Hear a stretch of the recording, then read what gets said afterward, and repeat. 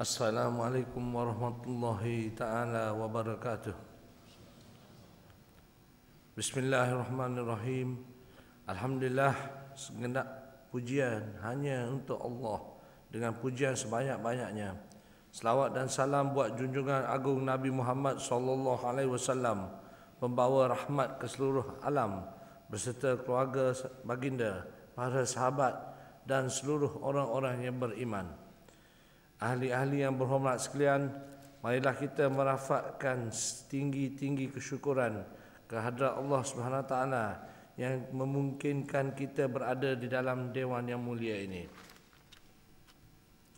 Ahli-ahli yang berhormat sekalian, beta dengan penuh rasa duka cita merakamkan ucapan takziah di atas pemergian buat selama-lamanya Datuk Bentara Setia Tuan Tok Guru Haji Nik Abdul Aziz bin Nikmat mantan Menteri Besar Kelantan pada malam Jumaat 22 Rabiul Akhir 1436 Hijrah bersamaan 12 Februari 2015. Pemergiannya satu kehilangan yang suka dicari ganti.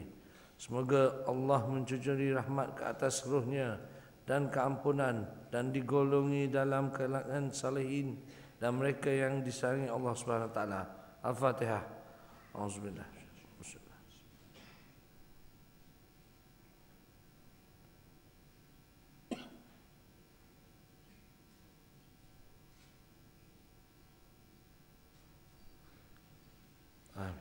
Beta merakamkan penghargaan dan ucapan tahniah kepada kerajaan negeri di atas kelangsungan mentadbirkan negeri ini di bawah dasar membangun bersama Islam.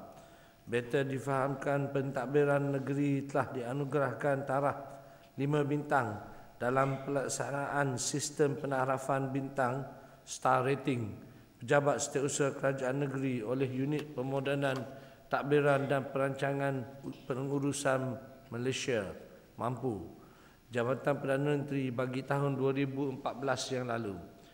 Beta juga difahamkan bahawa Kerajaan Negeri Kelantan berhasrat untuk membawa rang undang-undang persendirian ahli parlimen bagi meminda Akta 355 di bawah peruntukan 76A1 Perlembagaan Persekutuan bagi membolehkan kerajaan melaksanakan kanun jenayah syariah Kelantan.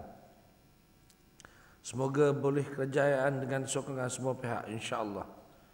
Ahli-ahli yang berhormat sekalian, banjir besar yang melanda negeri Kelantan dan beberapa negeri lain pada akhir tahun 2014 meninggalkan kesan besar kepada ekonomi dan sosial rakyat. Sesungguhnya apa yang berlaku itu mempunyai hikmah tersendiri. Kita sebagai hamba perlu menerimanya dengan penuh keredaan. Beta mengajak rakyat negeri ini khususnya umat Islam untuk menghayati hadis Rasulullah sallallahu alaihi wasallam yang maksudnya sesungguhnya besarnya ganjaran pahala itu bergantung pada besarnya ujian dan sesungguhnya apabila Allah mengasihi sesuatu kaum mereka diuji dengan kesusahan Sesiapa yang reda dengan ujian itu akan mendapat keredaan Allah dan siapa yang tidak reda maka dia akan menerima kemurkaan Allah Subhanahu wa taala. Riwayat At-Tirmizi. Peter merakamkan ucapan terima kasih dan penghargaan kepada semua agensi kerajaan negeri dan kerajaan persekutuan, NGO dan semua pihak yang terlibat dalam kerja-kerja menyelamat dan memberi pertolongan dan bantuan kepada mereka yang ditimpa musibah banjir di seluruh negeri Kelantan sama ada ketika banjir ataupun pasca banjir.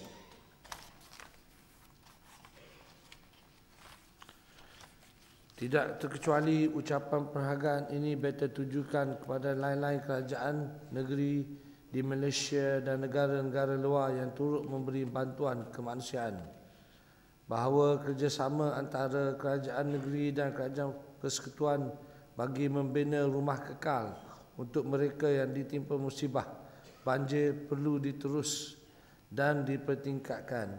Beta berharap rumah-rumah itu dapat disiapkan dalam keadaan yang sesuai supaya kehidupan mereka kembali normal.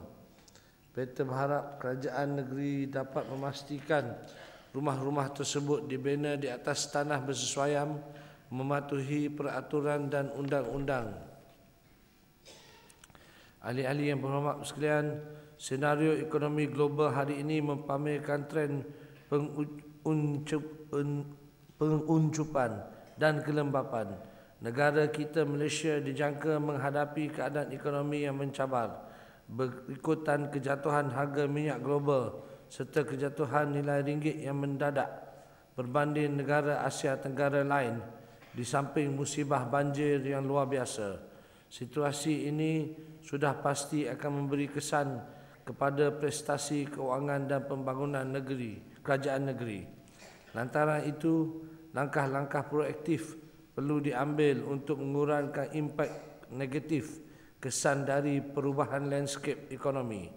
Langkah penjimatan perbelanjaan operasi pentadbiran negeri di samping mengoptimalkan kutipan hasil perlu dilaksanakan. Di samping itu, kerajaan negeri perlu membuat pengubah suayan pendekatan dalam melaksanakan program-program pembangunan.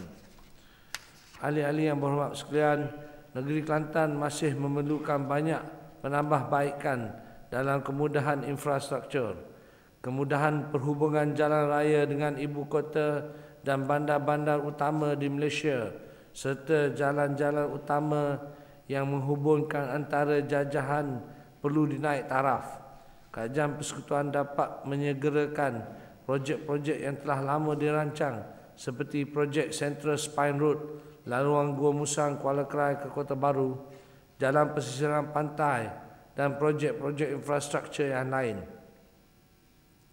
Beta berharap kerajaan persekutuan akan memberi pertimbangan khususnya kepada projek-projek infrastruktur negeri ini dalam penyediaan rancangan Malaysia ke-11 nanti. Ahli-ahli yang berhormat sekalian, beta menyarankan supaya sektor perkhidmatan kerajaan negeri mengambil langkah strategik memajukan beberapa sektor beberapa subsektor produktif dalam sektor perkhidmatan seperti pelancongan, pemborongan dan penucitan serta keuangan mikro, microfinance. Sektor pelancongan di negeri ini memang berpotensi menjadi pemancu utama kepada pertumbuhan ekonomi negeri berasaskan niche khazanah alam semula jadi, warisan budaya, kesenian dan warisan Islam. Dalam festival Malaysia Year of Festival 2015, terdapat tiga program telah dan akan dilaksanakan iaitu Pesta Gendang Antarabangsa, Persembahan Silat Nusantara dan Pesta Wow Antarabangsa. Beta percaya program-program seperti sebegini akan dapat menarik para pelancong untuk menjadikan Kelantan sebagai destinasi pelancongan domestik. Ahli-ahli yang berhormat sekalian, Beta sukacita mendapat maklum kerajaan negeri telah menyediakan plan strategik pembangunan lembah agro bio negeri Kelantan, Kelantan Agro Bio Valley yang dapat meningkatkan hasil pengeluaran makanan dan industri herba melalui kaedah bioorganik.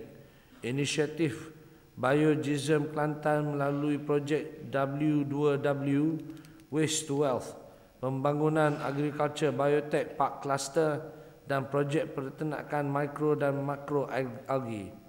Inisiatif kerajaan negeri menubuhkan majlis bioteknologi dan teknologi hijau negeri bagi menyelaraskan dan mengenalkan pasti isu-isu strategik dalam menerokai bidang baru ini adalah satu langkah yang baik.